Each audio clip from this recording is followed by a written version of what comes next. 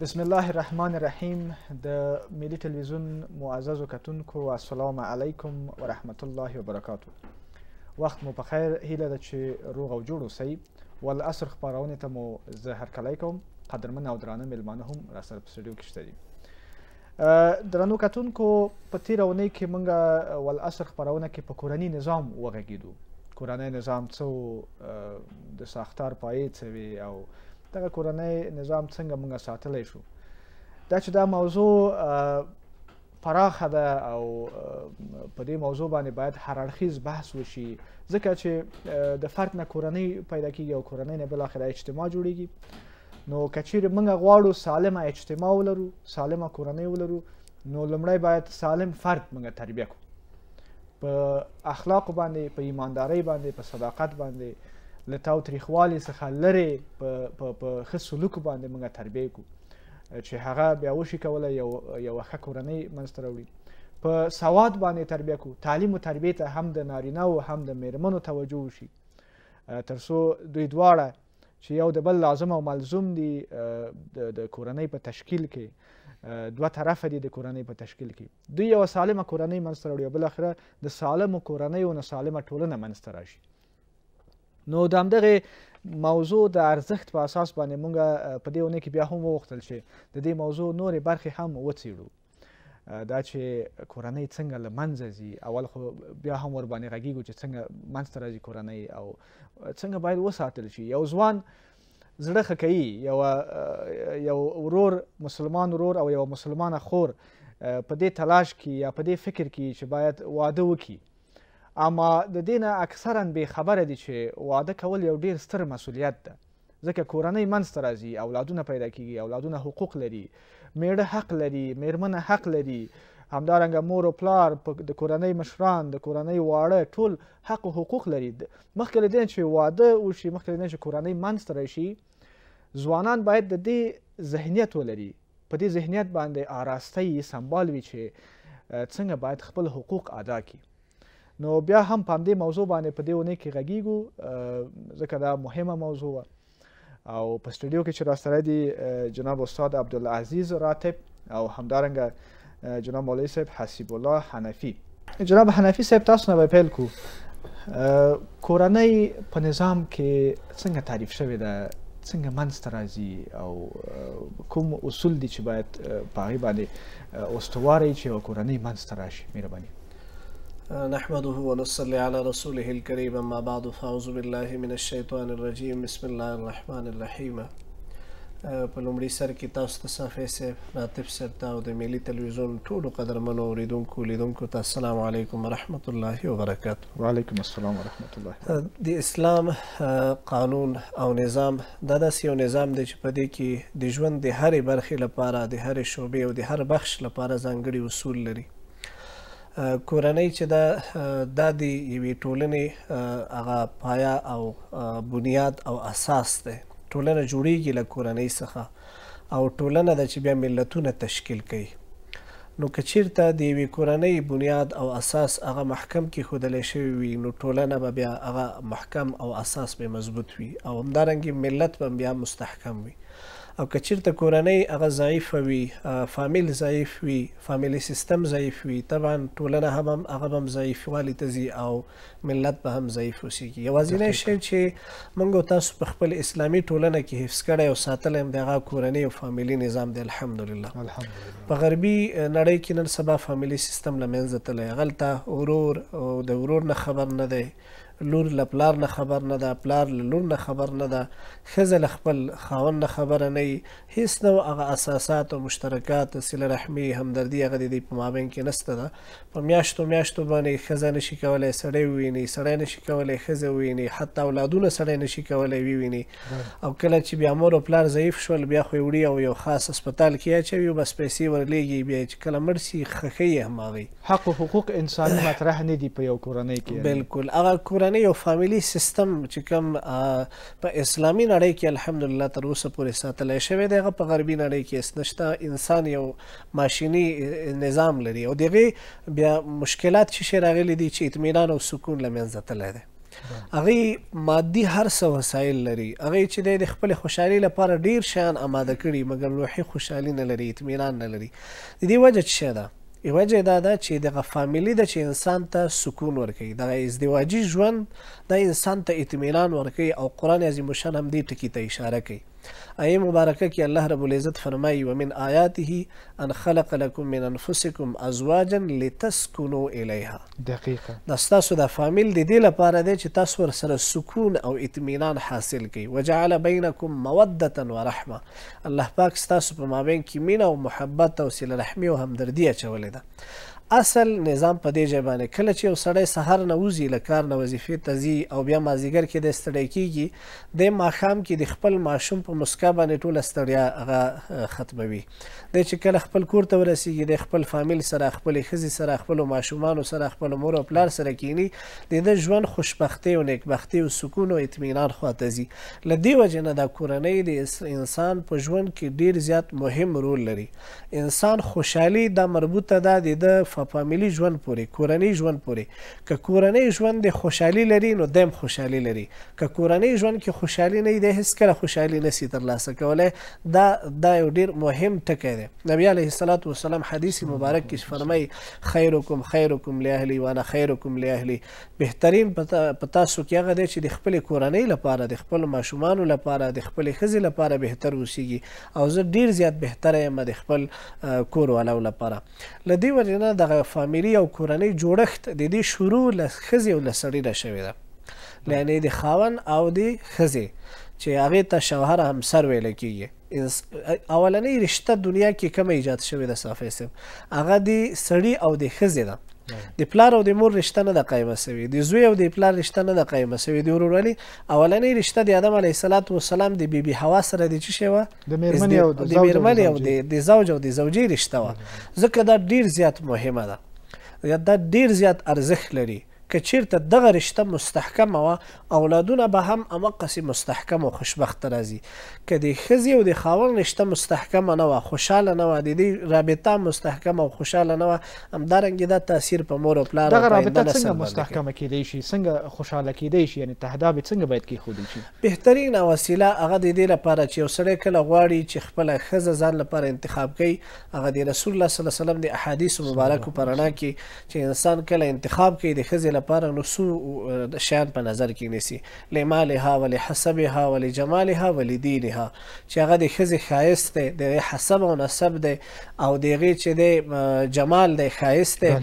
ولدینها او دین دی په دې کې فسفر به ذات دین نو دین ته ارزښت ورکړي که چیرته یو سړی غواړي چې زه خوشبخته کورنۍ ولرم یو ښه فامیلي سیستم ولرم په آینده ژوند کې دی د خپلې ښځې هغه اساس او بنیاد په دین باندې کیدی په اخلاقو باندې کیدی حسن جمال حسب نسب دا ټول ختمیدلی شي مګر دین په انسان کې پاتې وي که غواړي چې تاداب ګزاري د خپل خانوادې لپاره د خپل کورنۍ لپاره وکړو او ښه تاداب ګزاري وکړو د غې لپاره یو بهترینه ښځه انتخاب کول دي په اساس د سنت باندې چې هغه په اصطلاح د دین او د شریعت په اساس باندې وسی نه په هغه اساس باندې لکه بعضې خلک چې هغوی صرف یو ښایست په نظر کې نیسي، اخلاق یې خراب وي هغې ته نه ګوري، دین په کې نه وي هغې ته نه ګوري، نو بیا دغه ژوند ازدواجي ژوند پرمختګ نه شي کولای او د دې بیا وروسته ډېر زیات مشکلات په ژوند کې راځي. ډېره مننه جناب حنفي صاحب. جناب راتب صاحب پایه های اساسی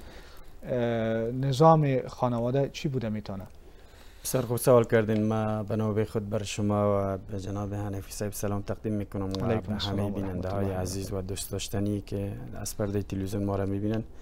امیدوار هستم شما و حنفی صاحب و بیننده های عزیز ما جور صحتمند باشن سلامت باشین زنده باشین در پایه های اساسی نظام خانواده پایه های اساسی و مهم میشه جناب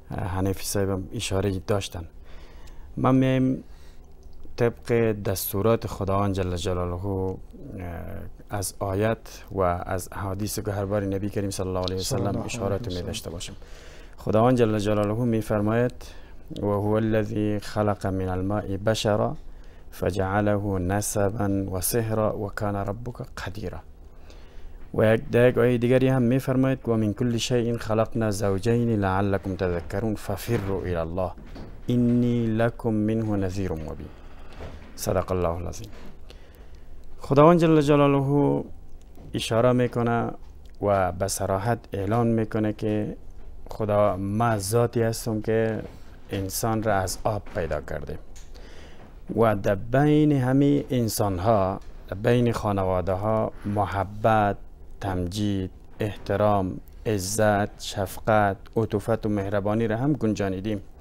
حال میبینیم در اسلام عزیز یا در غیر اسلامی او محبتی که بین بخصوص فامیل هست در دیگه جایا نیست بین شوهر چون آیتی که ما خواندم غانفی صاحبم در یک آیه دیگه ای که اشاره کردن که وجعل بینکم مودتا و رحمه در هیچ جای دیگه محبت دیده نمیشه مثلا در بین دو دوست هم محبت هست بله. مهربانی هست عطوفت هست اما امکان داره که یک وقتی بسکله از بین برود اما محبت زن شوهر محبت پدر و مادر محبت دو خواهر محبت دو برادر محبت خواهر و برادر و اما و خاله اینا از بین برای هم دوباره چون ای بانی از ای پروردگار است و جعل بینکم مودتا و رحما نسبا و سهرا کلگیش پروردگار میگه که ما محبت را گنجانیدیم اما چه قسم گنجانیدیم در دیگه آیات هم میایه در احادیث نبی کریم صلی الله علیه و سلم هم واضح اشاراتی شده توصیه همه علما هم بمی هست اگر چه حنفی صاحبم دی یک حدیث اشاره کردن من دیگه حدیث را بر شما میگم پیامبر اکرم صلی الله علیه و سلم بر جوانا تاکید و توصیه میکنه میگه شما از ما مفهوم حدیث میگم میگه شما از سبزیجاتی که در جاهای زبالدانی آشغالدانی در جاهای چتلی میرویه شما خودداری بکنید. هدفش وزی و معلوم هسته یه تشبیه داده ایاکم خضراء دمن؟ شما از سبزیجاتی که در جای چتلی میرویه شما خودداری بکنید یعنی هدفش این است که شما فقط خوشروی بودن جمال را در نظر نگیرین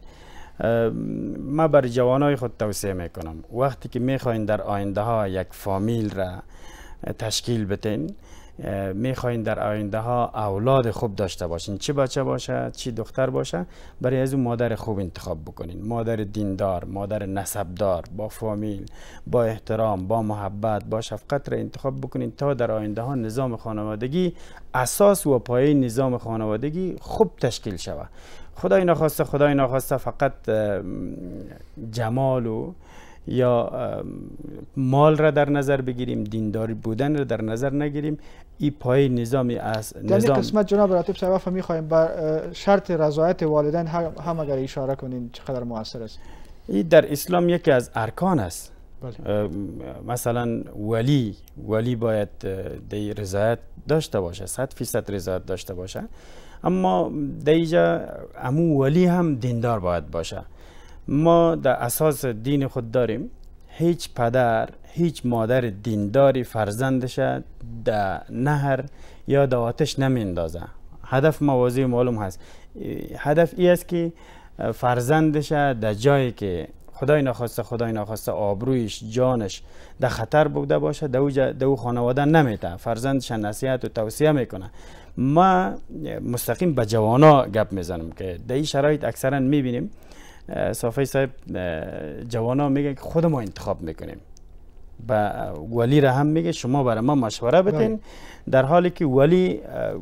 باید ولی هم نیم انتخاب از ولی باید بوده باشه در این شرایط اکثرا جوان میگه که نه خود ما انتخاب میکنیم اولیا ولی ما پدر و مادر ما در ما مشوره بده اما ما بر جوانا میگم که خود شما وقتی که انتخاب میکنین مطابق دین ما مطابق اصول و اساس اسلامی ما شما انتخاب بکنین در آینده ها خدای نخواسته خدای نخواسته فامیل ها از هم نپاشه خدای نخواسته فرزندایتان بدون پدر بدون مادر رشد بکنه و کلان شوه این جامعه بالاخره چون نظام از یک فامیل متشکل هست جامعه هم همین قسم سست و بسیار به اساس به بسیار تشکر جناب راتب صاحب درنو کتونکو لنډه دمه لرو او وروسته له دمې بیا خپرونه درنو میلمنو سره دوام لري درنو کتونکو بیا هم ستړي مشئ جناب حنفي صاحب د یوې کورنۍ د لمنځتلو اساسي عوامل څه دي چې یو کورنۍ لمنځه وړي اگر چې راتب صاحب زینو ته اشاره وکړه اما د یوې پوښتنې په شکل باندې کدا د دې ځواب منسجم شي سره چې کوم عوامل دي چې یوه کورنۍ له منځه وړلی شي یا مثلا اولادونه انحرافي تګلوري ته وړي تربیه ناسالمه کیږي اخلاق ناسالمه کیږي دینی او دنیوي زده کړې ناسالمه کیږي بل اخره دغه کورنۍ پاشل کیږي یو له هغه عاملو نه چې اکثریت هغه کورنۍ ژوند چې دغه متاثر کیږي ورنه یو بل نه چې د مشکلات راځي پکې د هغې نه هغه یو بل حقوق نه پیژندل دي. اسلام چې دی په دې کورنۍ ژوند کې فامیلي ژوند کې چې دی د هر یو کس خپل حقوق مشخص کړي دي که چیرته موږ هغه حقوق ته احترام ولرو هغه حقوق په نظر کې ونیسو هیڅ کله هم چې دی یو کورنۍ نسی کېدلی چې هغه ماته شي او له منځه لاړه شي مثلا اسلام حقوق مشخص کړي دي یو سړي لپاره چې هغه باید ښځه ښځې ته څومره احترام ولري ستا د ژوند همسفر، همدرد، همشریک، ستا په غم کې شریکه، ستا په خوشحالیو کې شریکه، د هغې کوم حقوق دي په تا باندې؟ هغه سړي چې د خپلو ښځو سره زشت او بد برخورد کوي او د ښځو سره همیش تاوتریخوالی کوي، هېڅکله دا دا کورنۍ موفقه نه سي کېدلی. دا کورنۍ طبعا ماتېږي به، دا به یې له منځه ځي. نبي علیه السلام څومره تاکید کړی دی د خپلو ښځو سره اتقوا الله فی حق النساء د الله نه ویریږئ د ښځو د حقوقو په باره کې همدارنګه قرآن عظیم الشان کې فرمایي وعاشروهن بالمعروف دوی سره په نیکۍ سره برخورد کوئ په ښې طریقې سره ورسره برخورد کوئ طبعا کله چې یو سړی مشترک ژوند لري په هغې کې به لاندې باندې ګرم و تریخ و خوږ دا شیان راځي نو په دې کې عفو او درګذشت ډېر زیات مهم دی چې سړی باید د ښځې په مقابل کې د عفو او د درګذشت نه کار واخلي نبی علیه الصلاة والسلام په خپل فامیلی په خپل کورنی ژوند کې د خپل ښځو سره حتی هغه د پختو پس کې هم چې د حصہ اخیستې ده نبی علیه السلام په ګنډلو کې هم حصہ اخیستې ده د کور په صفایي کې هم حصہ اخیستې ده دا ټول د موږ لپاره یو مشالره او سنت دی چې موږ د نبی علیه الصلاة والسلام په طریقې سره که چیرته هغه سیرت ولولو ژوند به موفق اوسیږي ښځې ته پکار دي چې د خاوند حقوق وپیژني چې سړی سره چې دی زشت برخورد ونه کړي، کوشش ونه کړي چې خپل ژوند چې دی هغه له تاوتریخوالي ډک کړي او په هره خبره باندې سړی رټل، په هره خبره باندې سړي ته بد رد ویل، په هره او داسې تقاضاوې کول چې سړی هغه نشي پوره کولای، طبعا دغه مسئله هم سبب د دې کیږي چې سړی کله نشي کولای هغه خپل معاش دی هغه چې دا کوم نا نفقه ده هغه دومره نه وي چې د هغې ښځې پوره حاجتونه همدغې ته راتلم لکه نن جناب سبا په حنفي دې صاحب چې فقر او اقتصادي اه، یو عمده عامل کېدلی شي ف- اقتصادي فقر چې بالکل تاسو ډېرې ښه ټکي ته اشاره وکړله بله. اه، ګورئ دغه شریعت کې وایي چې دروغ په درې وخته کې جایز دي که نه هغه مطلق دروغ نه دي چې سړی دې هره خبره کې دروغ وایي هغه دروغ دي مصلحت لپاره چې یو سړی خپلې ښځې ته وایي یو له هغې نه دغه دی چې دغه ازدواجي ژوند څومره مهم دی چې په شریعت په دې کې سړي ته اجازه ورکړې ده چې ته خپلې ښځې ته بعضې وخت کې کولی شي له تسمونه کار واخلي چې کله ته نشي کولی د هغې مسایل پوره کړي چې کوم د هغې حوایج دي نو ته کولی شي یو بهانه وکړي چې ولا نن مې نشوای کولای ما سره دومره پیسې نه وي یا لاره کې یو مشکل پیښ سو نو ځن مې رسیدګي ونه شوای کړلی نو دغه د فقر او د اقتصاد مسله هم ډیر وختونو کې سبب د دې ګرځېږي چې یو سړی هغه د دغه کورنۍ ورسره ماته شي صافی سه زه یو ټکي ته اشاره وکم مونږ ته زیاتره خلک چې مراجعه کوي دغه وجه دغه ده چې سړی دوه ښځې او درې ښځې کړي دي او رسیدګي ورته نشي کولای چې کله ته یو تا ته شریعت امر کړی چې ته کولی شې دوه درې ښځې وکړي مګر ته خپل هغه اقتصادي مشکلاتو ته په نظر کې ونیسه د انسان ژوند په اسباب او وسایلو باندې استوار دی چې کله ته د یوې ښځې هغه مشکلات هغه شرعي حوایج نشي پوره کولی ته څنګه دویمې ښځې ته لاس اچې تا ته خو اسلام عقل درکړی فکر یې درکړی شریعت الله پاک تا ته ته باید سوچ وکړي فکر وکړي احکام یې رالیږلي د ته لارښوونکی کتاب یې رالیږلی عدل او انصاف کولی شي که نسی کولی د هغې ته د یو ماشومانو مشکلات نسی پوره کولی تا دویمې ښځې ته لاس اچولی دی یعنې خدای شاهد دی موږ سره دا اوس داسې ډېر خلک په تماس کې دي هغه ښځې ژاړي فریاد کوي چې د موږ هغه خپله ډوډۍ کالي نسی پوره کولی دا سړی او تله دی د بلې ښځې سره پروت دی په میاشتو میاشتو د موږ پوښتنه نه کوي نو دغه حدیث شریف کې راځي کاد الفقر ان یکون کفرا چې دا دغه یو حالت جزا به سي جناب مولوی صاحب کوي نارینه د یوې خزي د اقونه نشه ادا کولای او د هغه ماشومان چې دی اولادونه د هغه اقونه نشي ور کولای او زی دویمه خزي سره وخت لري دا ظلم ده دا ګناه ده دا څه رقم څه ډول ګناه ده یعنی د دویم د خزي د کولو لپاره قران عظیم شان شرط چی شي خیره عدالت چې که چیرته ته عدالت نسی کولای په یوې ښځې باندې اکتفا وکړه اوس که سړی دغه عدالت نشي مراد کولای او د ګزي بل خزه کې حدیث شریف کې راځي چې د قیامت پر ورځ به دغه انسان چې دی د الله په حضور کې حاضرېږي او نیمه حصه به د فال جوسیږي یا حتی په نیمه حصه باندې به بيخي غوښې نه اوسیږي تش اډو کې به ولاړ وي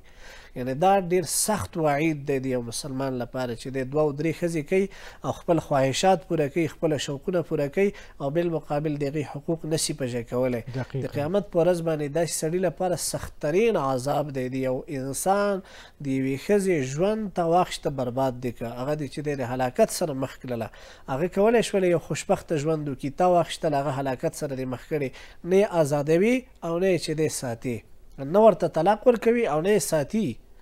نه یې ساتي. نو داسې سړي لپاره سختترین وعید په حدیث مبارک کې بیان شوی دی. هېڅکله هم یو مسلمان دا حق نه لري چې دی دې د خپلو خواهشاتو لپاره دوه او درې ښځې وکړي او وایي ماته اسلام دا حق لا کړی دی. اسلام چې دی هر یو شي کې عدالت په نظر کې نیولی دی. اعتدال او وسطیت او میانه روي په منځ کې نیولې دي. نو داسې نه زه خو خصوصا خپلو دوستانو ته وایم چې په دغو شرایطو کې که چېرته ستا لس زره روپۍ او پنځلس زره روپۍ معاش دی ته د یوې ښځې مشکلاتو ته رسي هغه اساسي مشکلاتو ته هغه خو هغه نور هغه اصرافات خو پرېږده هغه اساسي مشکلات چې هغې نان نفقه او د هغې کالي او د هغې کور او د هغې خرچ او مصرف دی هغه نشي پوره کولی او ته ځي بلې ښځې ته لاس اچوې هرګز اسلام دې دې اجازه نه ده ورکړې نو یو له عواملو له دې نه چې یوه کورنۍ ورسره ماتېږي هغه دا فقر او اقتصادي مشکلات هم دي او بل کولی شو موږ هغه وخت کې خپله کورنۍ او ازدواجي ژوند موفق وساتو کله چې یو موږ د یو بل حقوقو ته احترام ولرو د یو بل حقوقو ته رسیدلي یو بالکل ډیره مننه جناب حنفي صاحب جناب راتب صاحب یکی از عوامل از هم پاشیدن خانواده میشه که بیسوادی باشه نظر شما در این مورد بازم خوب سوال کردین خداوند جل جلاله در اولین پیامش به محمد صلی الله علیه و سلم یعنی آخرین نبیش آخرین رسول یا آخرین پیامبری که در روی زمین میفرسته خواندن و نوشتن هست در اوجه ذکر نکرده که مرد فقط باسواد باشه یا زن باشه همگی باید سواد باشه بله. باید کلگی بخوانه هم سویه باشه هم کفو باشه باید درس بخوانه و دومش ما اینطور فکر میکنم که دوری از تقوا هست ما وقتی که تقوا گفتیم از تقوا علما گپ زد متاسفانه متاسفانه خیلی از مخاطبین ما فکرش دفعتا وقتی که تقوا شد به به نماز میرسه و کسی که نماز خوند اینمی تقوا است دیگه جای تقوا نیست نه خیر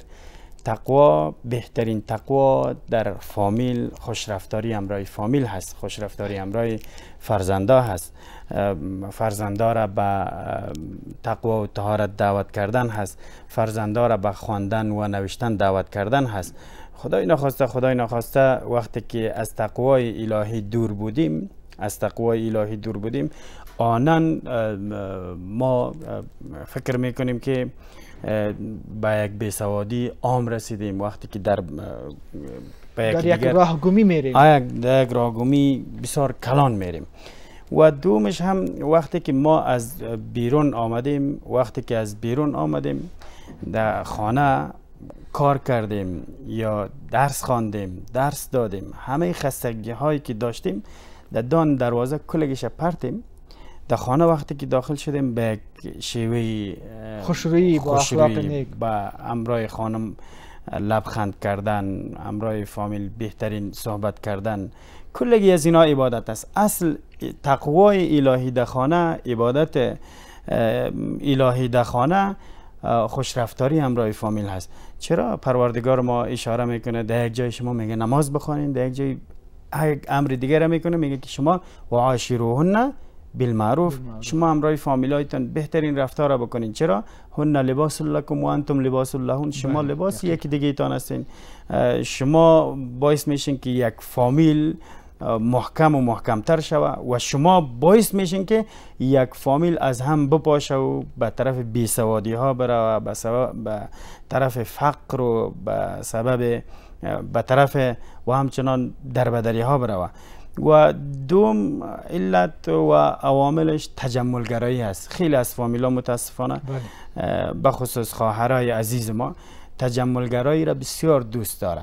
اینطور فکر نمیکنه که امی شوهرم سابقه اقتصادش وضعیت جیبش خوب بود حال وضعیت جیبش خوب نیست من آنن برم به خاطر تجملگرایی به خاطر عروسی خواهشات بیجای خواهشات بیجای ما مصارف گزاف در حالی که خداوند جل جلاله میفرماید ان المبذرین کانو اخوان الشیاطین کسایی که مصرف به جای میکنه کسایی که تبذیر میکنه اینا برادرای شیاطین هست این گپ من نیست گپ خالق هستی هست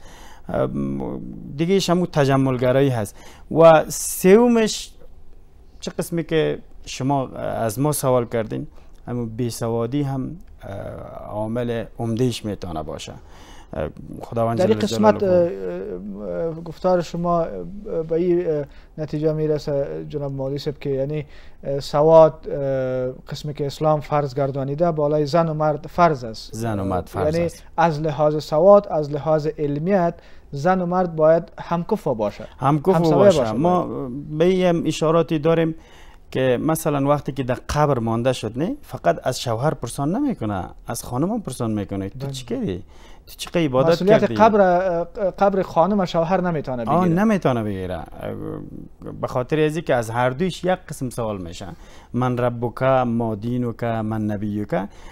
و ای استثناءات دی قرار داده نشده که مثلا از زن قسم سوال میشه از مرد قسم از هر دویش یکسان سوال میشه چی در عبادات عبادت یک خانم در خانه رسیدگی به شوهر هست رسیدگی به فرزند است رسیدگی به آن کارهایی که مربوط خودش میشه در خانه عبادت یک شوهر در بیرون معلوم هست وقتی که نماز میخوانه وقتی که کار میره هر دوی از عبادت است وقتی که در خانه هم داخل میشه خوش رفتاریش هم بهترین عبادت است از هر لقمه نانی که ما میخوریم از هر جرعه آبی که می نوشیم از هر سخنی که ما تکلم میکنیم ملائکه های کرام کاتبین هست الله جل جلاله یک روزی میرسه که از هر کاری که در روی زمین ما انجام دادیم پرسان بکنه بناهن وقتی که پرسان میکنه ما رسیدگی بکنیم خدای نخواسته خدای نخواسته یک کار خرد ما باعث بزرگترین و خطرناکترین کاری نشوه که و همو هم از همپاشی خانواده باشه بسیار زیاد تشکر جناب راتب صاحب درنو کتونکو لنډه دمه اخلو او وروسته له دمه بیا بحث دوام لري درنو مېلمنو سره درنو کتونکو بیا هم ستړي مشئ جناب حنفي صاحب چون موضوع کورنۍ ده او تاسو ته معلومه ده چې کورنۍ اساس او تهداب د اجتماع ده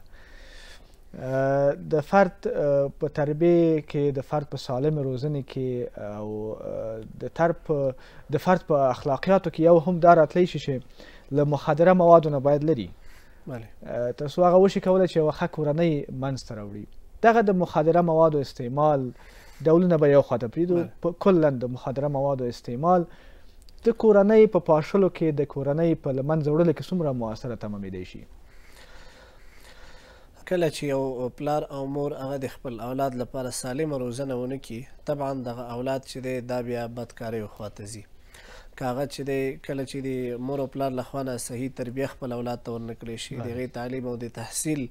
غم او نه خړل شي دغه چې دی د دینی او د عصري زده کړو غم او نه خړل شي د سی اولاد هغه چې دی بیا هیڅ کله چې دی دغه نه د خیر توقع نشي کېدلی زه اکثریت شکایت لمور او پلار نم دغه لرم له خصوصا لمور او پلار پلارونو نه چې تاسو هر یو مور او پلار دا خوښوي چې اولاد یې نیک وي، صالح وي، با تقوا دې وي، پرهېزګاره دې وي، لمونځ ګزاره دې وي او دی دې چې دی یو یو با تحصیل او با تعلیمه وي مګر دغې ته بیا ارزښت نه ورکوي او نه دغې ته توجه کوي. کله هم چې یو غواړي چې ما اولاد دې نیک وي، ما اولاد دې صالح اوسېږي نو باید کوشش وشي همغسې تعلیم او تحصیل ورته ورکړی شي، همغسې تربیه یې لا ورنه وکړی شي. که اولاد لپاره تربیه ورنه کړی شولی دغه اولاد چی کله بیا غټیږی دی به بیا خامخا غل به وی دی به رهزن وی دی به قطاع الطریق وی دی به چی دی په مواد مخادر باندی مبتلا وی دی به شراب خوره وی دی به چی دی د مشرانو قدر نه کوی نن هر مور او پلار چی وګوری د خپل اولاد نه شکایت لری چی اولاد می نافرمانه دی اولاد می په نیغه لار باندی نه دی روان اولاد می خبره نه منی د هغی وجه دا ده چی په وړوکوالی کی دغه سالمی تربیه ته فکر نه وو کړی. سهار وته ماښام راته یو کرت مور او پلار پوښتنه د دې نه کوله چې دا ماشوم د ما د مکتب ته تللی او که نه و تللی د مدرسې ته تللی او که نه و تللی مونځ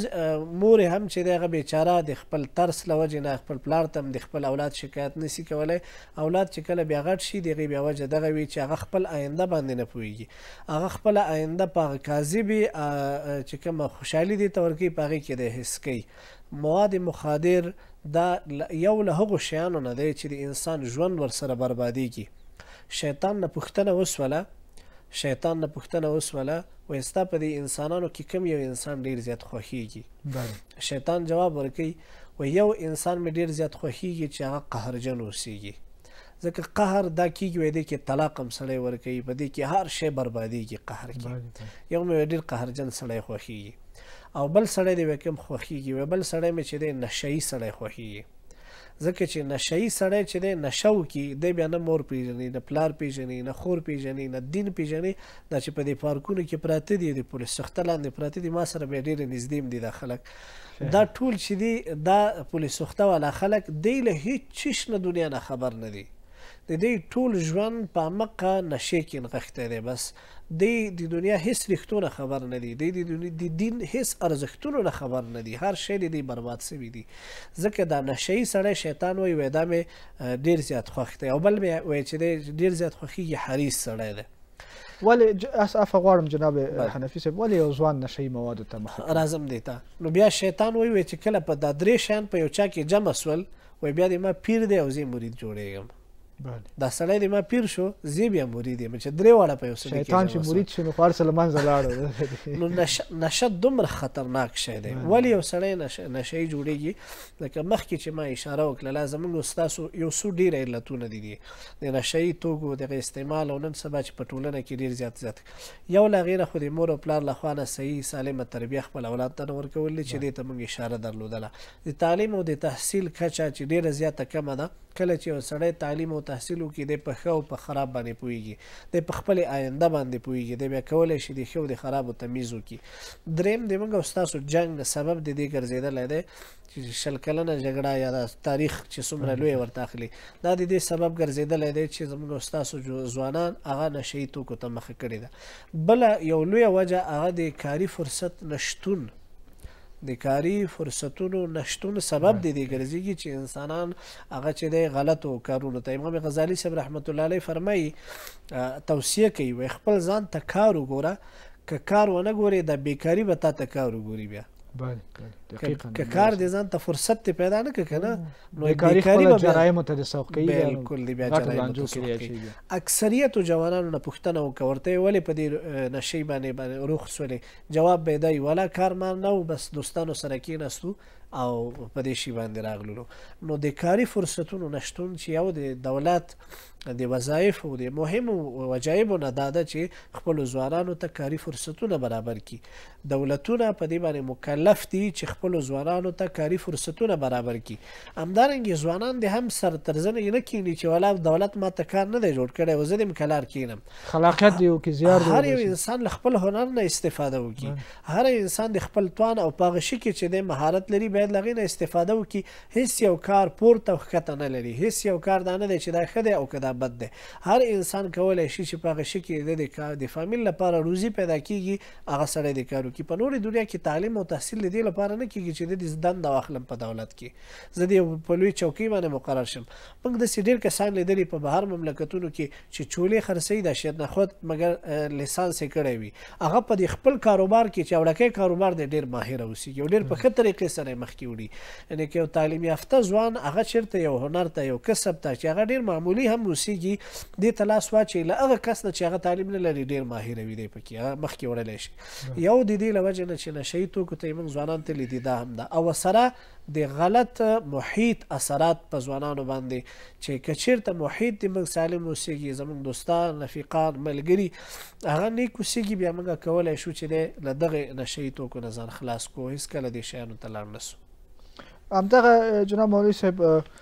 که دغه موضوع ته یو څه نور وسعت ورکړي چې په کورنۍ کې مثلا اول خدا چې باسواده خزه او له بیسواده سره څنګه پرتله کیږي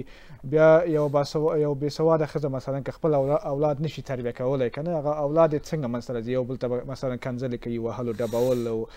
توهین او تحقیر او بل اخره دغه ماشومان د په دغه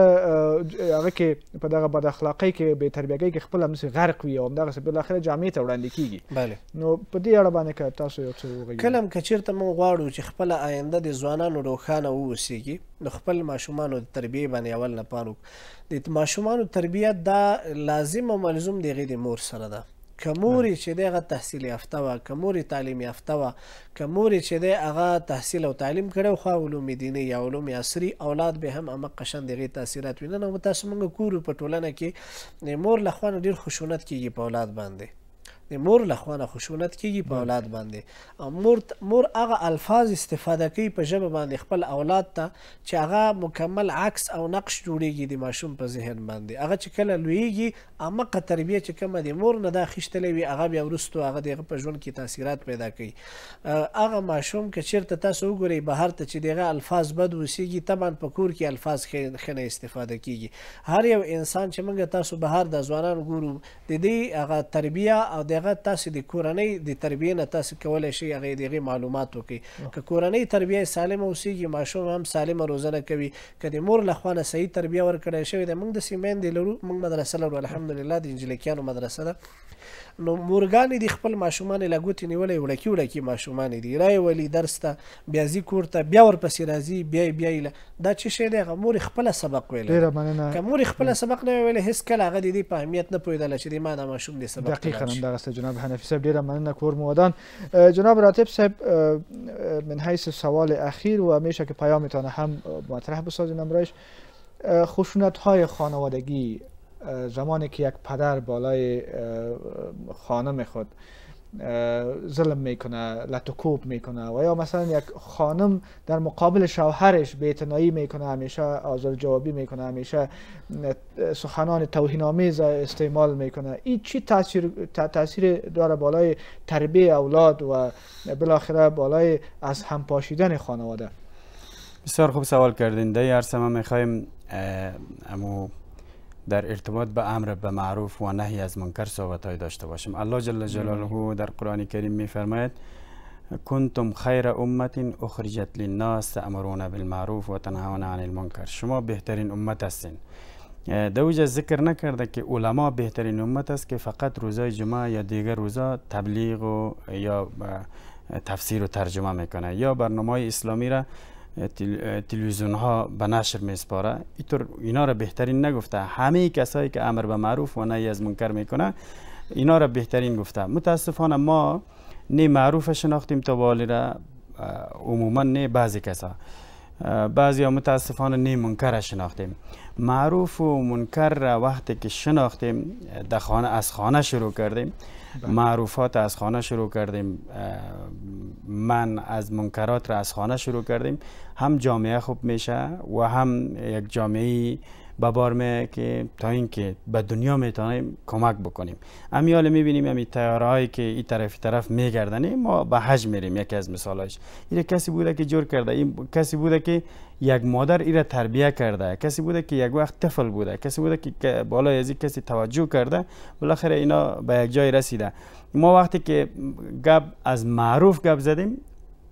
فکر تمام فکرها دفعتا به طرف نماز میدره و به طرف درس میره نه خیلی چیزا است که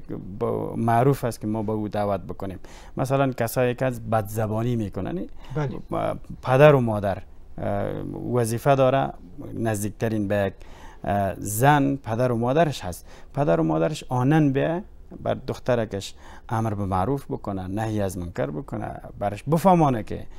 دین چون خودش اول دین یاد بگیره تربیه اولاد دقیق یاد بگیره بعد از پیش دخترکش بیایه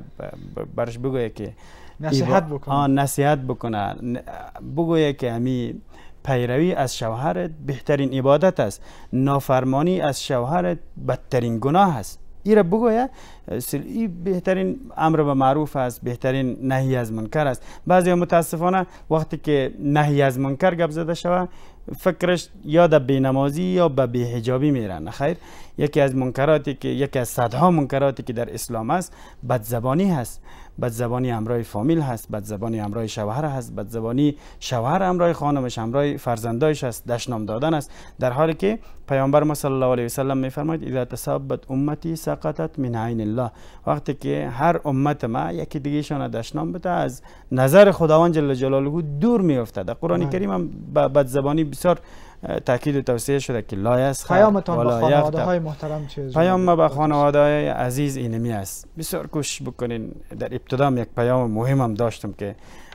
جوانا وقتی که میخواید در آینده ها فامیل خوب داشته باشه فرزندای خوب داشته باشه باید مراجعه به یک فامیل نسبدار به یک فامیل دیندار مراجعه بکنه تا اینکه همسر خوب پیدا بکنه در آینده ها فامیل خوب فرزند خوب تا اینکه یک جامعه را خوبتر و بهتر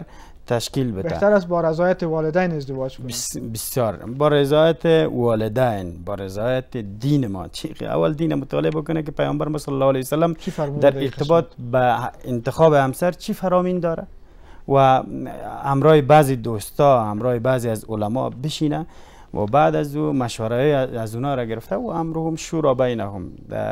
شما مشوره بکنین در بینتان و پیامبر صلی الله علیه و سلم میگه در مشوره خیر است خامخا یک خیری پیدا میشه یک کار بهتر یا یک همسر مناسب تر پیدا میشه که جوانای عزیز ما بگیره تا اینکه از این بدبختی که در آینده ها پیش است از این نجات پیدا تشکر جناب راتب صاحب جناب حنفی صاحب ساس و پیام به د انجونو د ښوونځیو په اړه واخلو له قدرمنو مشرانو نه ستاسو غوښتنه په دې قسمت کې څه ده تر څو کورنۍ باسواده شي تر څو کورنۍ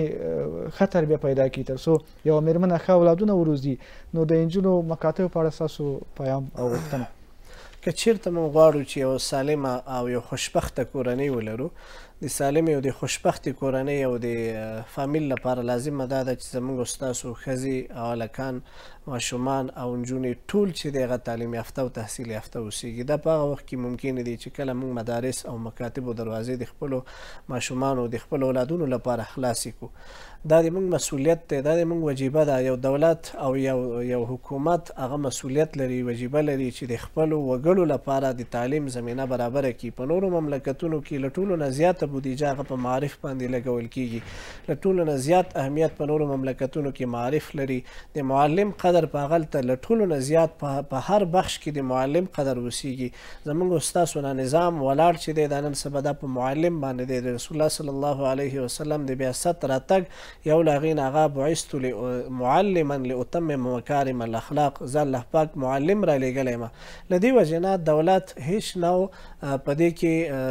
له سستۍ نه کار نه شي اخیستلی، دولت مکلفیت دی او دغه نسل که چېرته بې سواده پاتې شو، د دې ذمه واري ستاسو په غاړه ده، د الله په نزد باندې جوابګو اوسېږو، مور او پلار په کې مکلفیت لري د خپلو اولادونو لپاره زمینه د تعلیم او تحصیل برابره کړي، که چېرته د دولت له خوا نه بعضې مشکلات وي، تر هغې پورې مور او پلار کولی شي د کورسونو له لارې نه په خپل کور کې د مور او د پلار که چېرته تعلیم یافته وي او د هغې له لارې نه خپلو ماشومانو ته روزنه ورکړو، مساجدو ته یې واستوو، مدارسو ته یې واستوو، په دې سره کولای شو موږ یو مستحکم او یو قوي کورنۍ وړاندې کړو خپل آینده نسل ته او په اخریني په دوو ټکو کې یو پیغام چې د خپلو هغه خویندو ته چې هغې د خپلو سړیو سره مشکلات لري وړاندې کوم چې د عفوې او د درګذشت نه کار واخلئ که چېرته سړی خپلې ښځې ته ووایي چې خیر دی او ښځه خپل خاوند ته ووایي چې خیر دی، کولای شو مونږ یو ډېر خوشحاله ژوند ولرو او که یو بل سره په یو خبرو باندې شاخ سولو، طبعاً هغه خشونت ته لاره خلاصوي، سبب د تاوتریخوالي ګرځي او مونږ هغه کورنۍ ورسره له منځه وړو. ډېره مننه جناب مولوي صاحب حسیب الله حنفي او جناب استاد عبدالعزیز راتب. بسیار تشکر کور مو ودان چې راغلی درنو کتونکو د هند پخوانی ولسمشر چې عبدالکلام آزاد وو هغه د خپل د مړینې نه مخکې یو وصیت یې کړی و چې زما د جنازې په ورځ به هند کې عمومي رخصتي نه ورکوي ځکه چې داسې نشي چې زما د جنازې له امله د هند چارې او د هند مکاتب د هند اولادونه له تعلیم څخه بې برخې پاتې شي نو تعلیم تربیه ښوونځي زده کړه پوهه دا د کورنۍ په تشکیل باندې د فرد په تربیه باندې د فرد په سالم روزنې باندې دا یو ډیر اغیزناک تمامېږي او واقعا دا یو ډیره ستره وجیبه او ستره فریضه ده د اسلام ځکه خو فرض ګرځول شوې ده چې ارزښت هم هغومره زیات دی په دې هیله چې زمونږ د خویندو پر مخ هم ښوونځي پرانستل شي تاسې په پاک الله سپارو تر بیا بل خبرونه الله مو مل